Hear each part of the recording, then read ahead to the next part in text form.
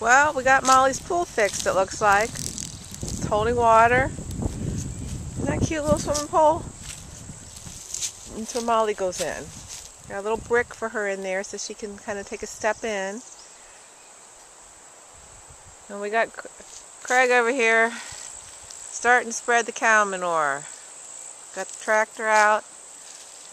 We're going to go and shovel it down. I'm going to try and help.